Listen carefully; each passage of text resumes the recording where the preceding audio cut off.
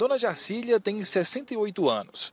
Há 10 anos sofreu com câncer de mama e no ano passado descobriu dois tumores da coluna, o que chegou a deixá-la paraplégica por três meses.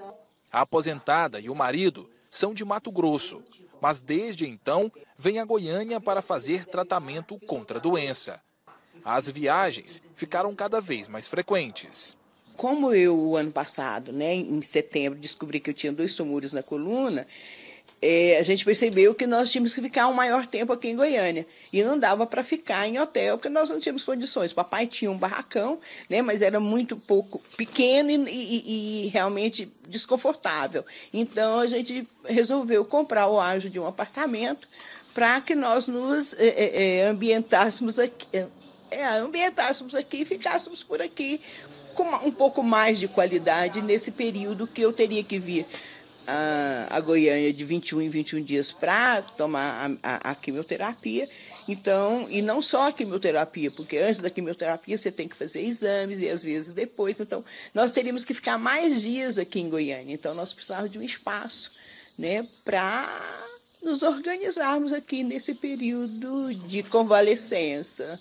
Como Dona Jarciara e o marido começaram a vir muito para Goiânia para fazer os tratamentos, eles decidiram que seria mais vantajoso comprar um imóvel, comprar um apartamento para quando eles viessem ficar uma semana, duas ou até mais, eles pudessem ter um conforto maior.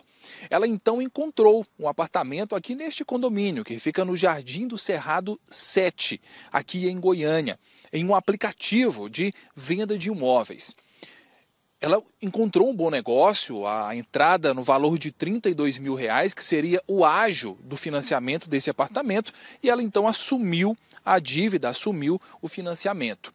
Só que eles ficaram dois meses aqui, vieram algumas vezes, voltaram para o Mato Grosso, até que no mês de junho, uma outra mulher procurou eles, dizendo: Olha, eu comprei o apartamento do antigo dono. Inclusive, já até quitei junto à Caixa Econômica Federal. O apartamento é meu. E eles então disseram: não, tá aqui ó, tudo documentado, tá tudo registrado em cartório. E foi aí que esse embrólio, que essa confusão começou.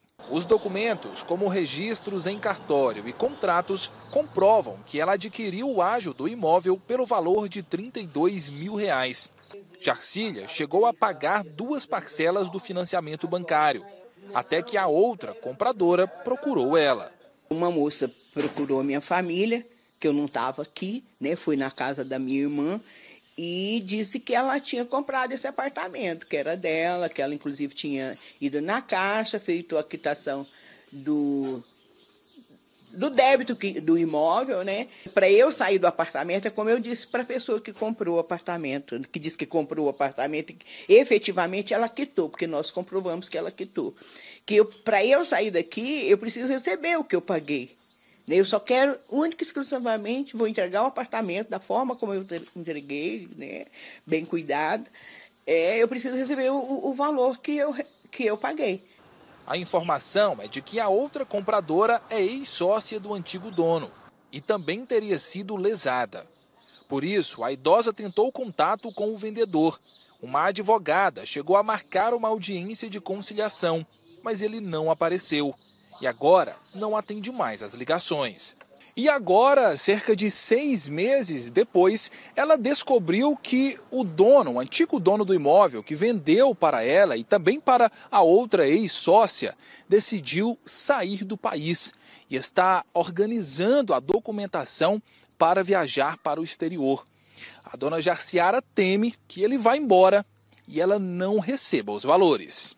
Ao todo, a aposentada desembolsou 34 mil reais ela precisa continuar as viagens para Goiânia, onde realiza as quimioterapias. Eu não quero nada de ninguém. Assim que eu for ressarcida do valor que eu paguei né, e que ele recebeu indevidamente, já que a princípio parece que o apartamento já não era mais dele, eu saio, inclusive eu falei, em três dias, a advogada pediu 30 dias, mas eu falei que em três dias eu saio do apartamento, nem que eu vou para um quarto, mas eu saio imediatamente. Se é dela, eu não quero ficar aqui. Mas para eu sair, eu preciso de receber o que eu paguei.